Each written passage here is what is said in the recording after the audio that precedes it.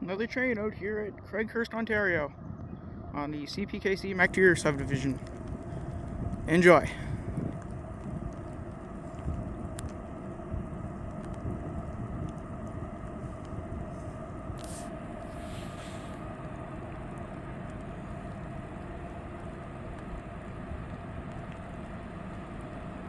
Looks like we got a KCS leader.